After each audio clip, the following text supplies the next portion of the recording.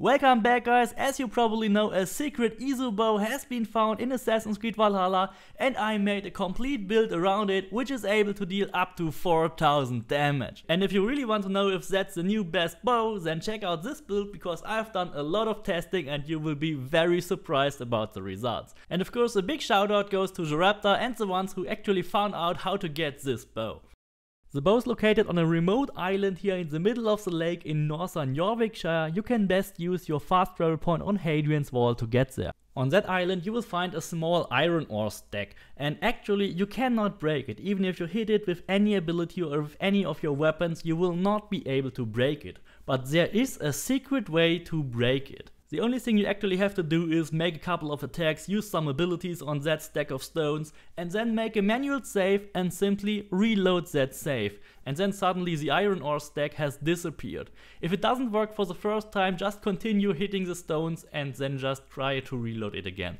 It will actually work at the second or third try. It is really easy and then there's a pop-up calling the Nodens Arc has been unlocked. The Nodens Arc is actually a pretty decent bow, it comes as mythical status directly and when you fully upgrade it, it will have 133 attack and 99 headshot. But when you compare that to the Hunnish bow, the Hunnish bow actually has 138 attack and 97 headshot. So the Hunnish bow might actually be better, we will check that out in detail later, but the Nodens Arc has a very unique trait, which is increase attack the further you are from your enemy. But there's also a rune which can be placed in the Hunnish bow to get you the same effect. So we will check out later which bow is actually the best and you might already know the answer. But before that I will actually show you the whole build and there's one more thing which is really important and I really have to talk to you about it which are these diamond runes and the perks, because most of these diamond runes and perks actually don't really work. Whenever you fast travel or when you load up the game, these effects from your armor or from your runes, from your diamond runes, are not applied to your character. You have to unequip and re-equip your items constantly to make them work. Even the Huntsman armor set bonus is only active for your second hit, so you have to make a hit to get a bonus which then lasts only for 2 seconds. Half of these runes don't even work and the rest of them has only an effect that lasts for 2 seconds. That's bullshit. They really need to fix that, otherwise it is totally pointless to make any kind of builds or use them at all. But anyway, let's check out the build. Of course I use the Huntsman set with complete range damage runes on every item. That is one of the best runes together with the melee damage, so you either place range damage or melee damage in all rune slots for your armor. I've also tried out to use the hidden one set. The hidden one set has an additional increase to headshot damage. But when I used the hidden one set and completely upgraded it, it turned out to be less damage when using the huntsman set. So we will stick with the traditional huntsman set here, place range damage runes on the cloak and then also range damage runes on all the other huntsman set items.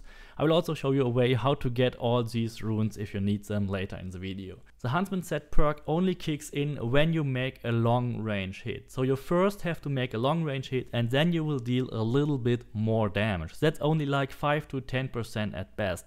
So it's not much and it only kicks in when you make a long range hit, you have to keep that in mind. That's not always applied. You don't have that after your fast travel. You first have to make a long range hit and then you get the perk back. That also kind of sucks, it would be much better if it was permanently active. On the Nodens arc I placed the critical spark rune, but of course you could also use the Curative Perfection which gives you health on critical hit or health on hitting weak spots, that would also work very well. Then I went for plus 7 ability damage here on the two round rune slots, because that's giving me more damage when I use the charge shot ability instead of using only the plus 4 attack. Of course we will stick to our double spare here for the melee weapons and we will use increased range damage the heavier you are on the first spare and then increase attack when close to full health on the other spare. Both of these runes actually don't work, you have to unequip and re-equip them to make them work properly. So I will do that here now and then I will demonstrate you the real damage from the Nodens Arc compared to the Hunnish bow. I've actually prepared a test range here for our arrows, which is located in Norway. We can simply use that assassin trainings ground and hit these dummies. Every time we pause and reopen the screen, these dummies will actually respawn, so we can easily use that here in Fornburg.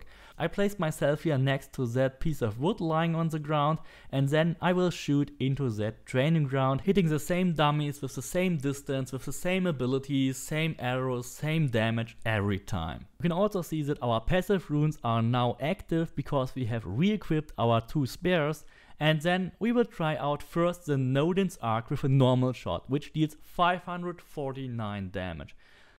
Then we can close and reopen the screen to get that dummy on the building respawn. And as you see there's another perk active which is the range damage from the bow which gives us then 3307 for the charge shot. Then we switch to the Hunnish bow which has the perk increase attacks the further you are from your enemy. So basically the same perk but just as a rune like the Nodens Arc. And with the first normal arrow shot with the same perks we deal 557 damage when we just reload that dummy on the building and then we have the range damage also active, we get 3400 damage. So by using the Hunnish bow with the same perk but just as a rune instead of directly inscribed on it, we get the same amount of damage and even more so because we have 138 attack instead of 133. We have all the same items, we have all the same perks here, the two spears with both runes like we had in our build. So the Nodens Arc is actually nothing special, it only looks cool when you want to glow in the dark, then use it, it's your choice. But I actually would prefer to use the Hunnish bow, dealing a little bit more damage, or simply place the rune on any other bow I like to use. The best method to get the range damage runes and all the diamond runes for this build is actually to use the merchant. Just go to the merchant, make a manual save before you talk to him. So just go there, save, and then reload the save every time you don't like his inventory. He will have a different inventory, a different set of runes every time you reload your save, but only if you have not talked to him before. You will also always have a new scroll of knowledge, a new mark of soul bow, so you can buy all this stuff from the merchant, even the great hunter rune here for plus 2 range damage, he will have every possible rune in the game. Sometimes it takes really long, so I tried 30 minutes until I got that range damage rune. So you have to keep trying, reloading the saves, it will actually be there at some point. It's even harder to get the correct diamond runes because there's only one diamond rune slot at the merchant and that also unlocks only when you are really high level and when you upgraded your settlement. So only really go for them if you want it because that is real luck and takes very long. And the effect of all these diamond runes as explained is not really big if they are working at all. But once you manage to get one of your desired runes, simply use the rune duplication and then that's it. The most important abilities for a hunter build are actually Focus of the Nornir and Mark of Death. Pretty much everything else can be ignored, but these two are really a must have. Especially Focus of the Nornir is really extremely good. It focuses on every enemy, you just have to make your headshots. At the end of the game you will have every ability and skill unlocked anyway, but if you want to make that build early on, then I will show you the best progression path here to get this build. At the beginning it's always best to go the assassin path to deal with higher level enemies, here grab the advanced assassination to exactly do that and then also the chain assassination and the adrenaline which is located in the assassin tree. Also use backstab because some of the finishers actually need backstab. Then you can either decide to go for emergency aim or go for the adrenaline in the warrior tree. I choose to go for more adrenaline here to use more of my abilities then simply fill out all the points here towards that adrenaline upgrade. There's also Berserker's Mettle. Berserker's Mettle is very important because when you get hit and you have a half completed adrenaline bar, you will actually lose that adrenaline if you don't have Berserker's Mettle.